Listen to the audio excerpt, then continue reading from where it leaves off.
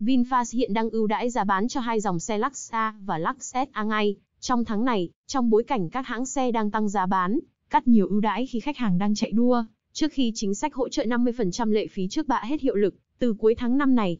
Theo tìm hiểu, mẫu VinFast Lux A có giá trả thẳng hiện tại cho cả 3 phiên bản tiêu chuẩn, nâng cao và cao cấp có giá từ 880 triệu đến 1 tỷ lẻ 75 triệu tức là ưu đãi 200 đến 250 triệu cho các phiên bản.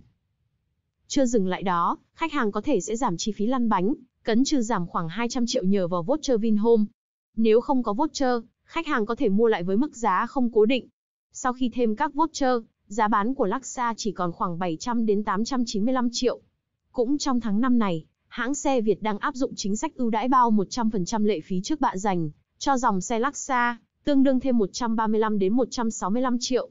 Sau khi giảm giá bán, mẫu sedan VinFast Luxa hiện tại chỉ có giá lăn bánh ngang bằng mẫu sedan hạng C, như Honda Civic GS 2022 giá 870 triệu hay rẻ hơn nhiều so với mẫu sedan hạng D, như Toyota Camry 1 tỷ lẻ 70 triệu đến 1 tỷ 460 triệu.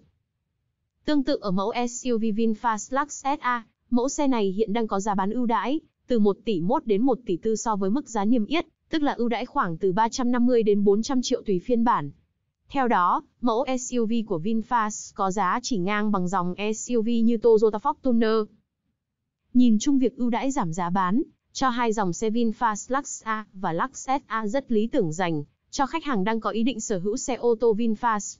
Đặc biệt là trong thời điểm tháng 5 này, khi mà trên thị trường người mua xe ở thời điểm này, ít nhiều sẽ gặp tình trạng xe mới ở đại lý tăng giá bán, bia kèm lạc hay cắt các khuyến mãi. Bởi lẽ, tâm lý số đông hiện nay đang mua xe để kịp chạy thuế trước cuối tháng này. Mặc dù giá xe VinFast Lux A và Lux SA rất lý tưởng dành cho khách hàng đang có ý định sở hữu xe ô tô VinFast, nhưng việc giảm giá này là tin không vui đối với khách hàng đã sở hữu xe, đang có nhu cầu bán lại hoặc muốn xe giữ giá.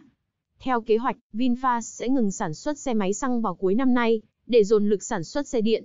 Tuy nhiên, các dòng xe của hãng như Fadil, Laksa và Lakset A vẫn có chính sách bảo hành dài hạn lên đến 10 năm, hoặc 200.000 km tùy điều kiện nào đến trước.